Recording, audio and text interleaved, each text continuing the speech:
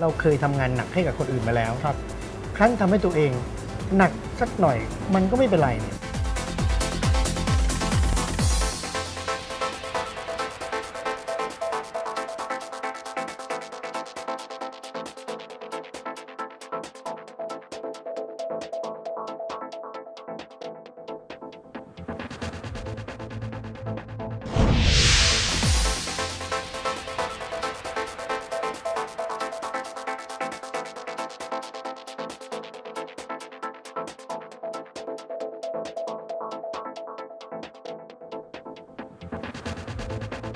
เราก็เริ่มต้นจากความที่ไม่รู้อะไรเลยครับทำให้ 2-3 ปีแรกเนี่ยบริษัทค่อนข้างจะเอ่อล้มลุกคลุกคลานพอสมควร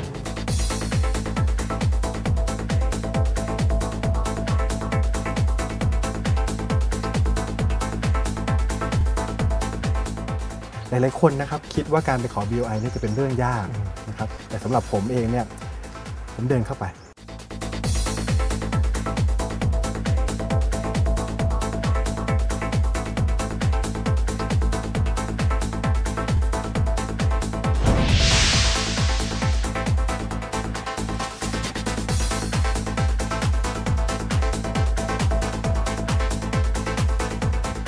ศัยวิธีลองผิดลองถูกมาตลอดนะครับ ก็ลองมาได้สักประมาณ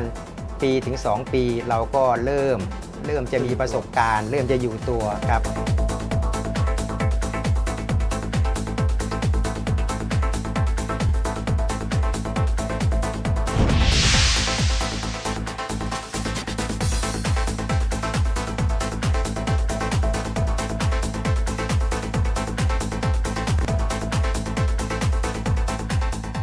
พื่อให้เกิดความชัดเจนในการจัดการและการครับบริหารงานรวมถึงการแบรนดิ้งเองเนี่ยค่ะเราก็เลยคิดว่าควรจะแบ่งแยก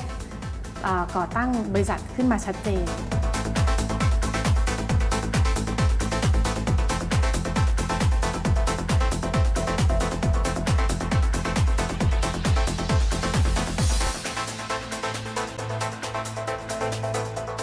ถุดิบเองที่เรามีการนำเข้ามาครับตรงนี้ก็ได้รับยกเว้นภาษีเช่นเดียวกัน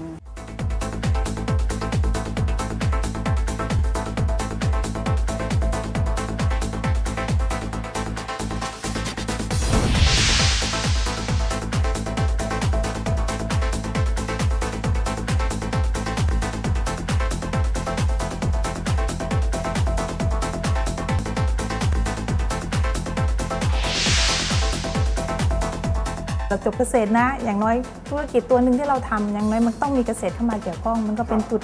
จุดจุดนำให้เรามาอยู่ตรงนี้ได้ค่ะ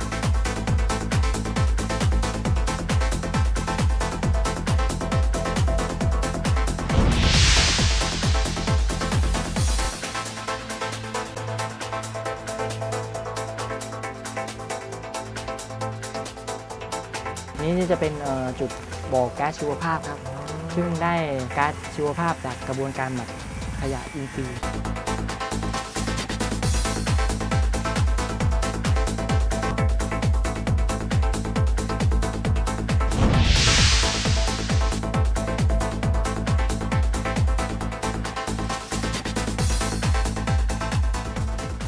ขายอาหารไก่อยู่แล้ว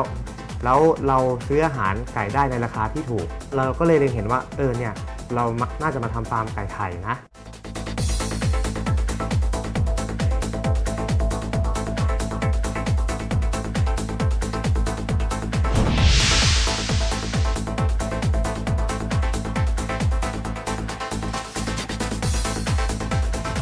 เราทำยังไงถึงจะสร้างสกิลครับสร้างทักษะให้พนักงานเราครับ เพื่อทำเสื้อตัวเดียวกันเนี่ยครับให้มันมีมูลค่าเพิ่มขึ้นมาในตัวของมันได้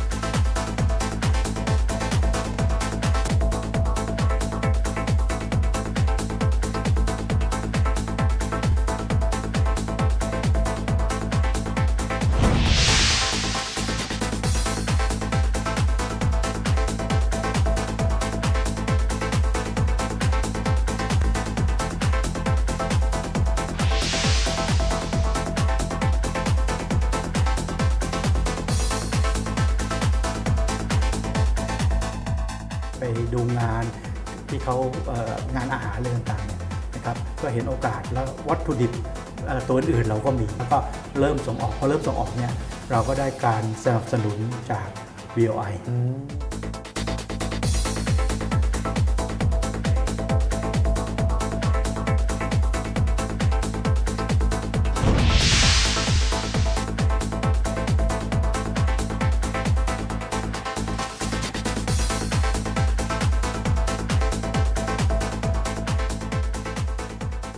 าเผาต้นเลยไม้เนี่ยทิ้งในป่าสวนยางนะครับคุณวิทูลก็มองว่าน่าจะมาพัฒนาเป็นผลิตภัณฑ์ได้นะก็เริ่มเอาไม้ยางพารานะครับมาทำของเล่น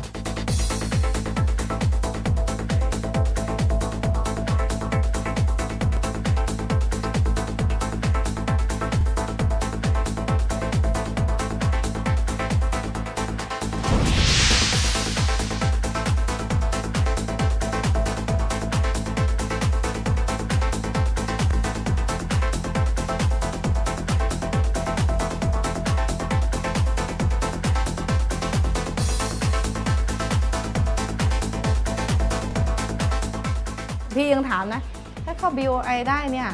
พี่ได้ประโยชน์หรือขาดเอ่อเสียประโยชน์ พี่ถามท่านผอเลยนะใช่ไหมครับผมไม่ใช่เข้าไปแล้วก็ค่ะ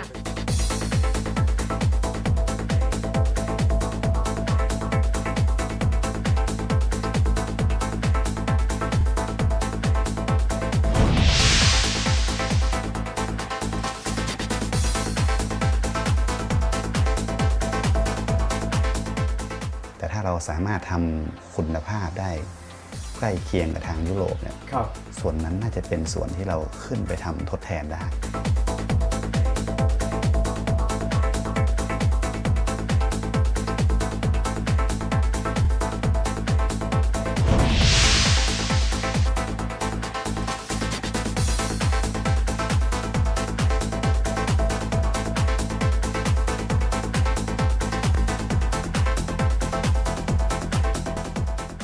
หากเป็นคนที่เรียนจากพนักงานของเรา